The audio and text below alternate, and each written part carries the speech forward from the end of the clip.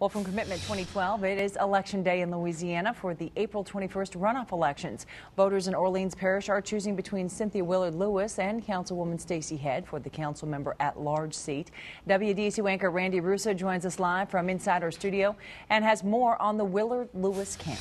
Hey, Rachel. Now, we caught up with Cynthia Willard Lewis earlier this afternoon as she was casting her ballot at Household of Faith Church in New Orleans East, as well as campaigning on the streets today.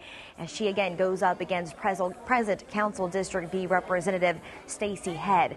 Now, Willard Lewis says that she expects to be victorious in this campaign, touting some of the major endorsements that she's picked up along the way, including that of New Orleans Mayor Mitch Landrieu, Congressman Cedric Richmond, and also Councilman Jon Johnson. As you know, Willard Lewis has served two past terms on the New Orleans City Council, representing folks in New Orleans East, and is also a former state senator.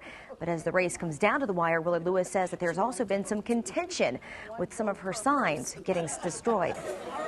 In this particular race, we noticed that in major intersections, uh, someone is slashing our signs and they're not simply leaving them, they're actually taking them. This is a very expensive proposition.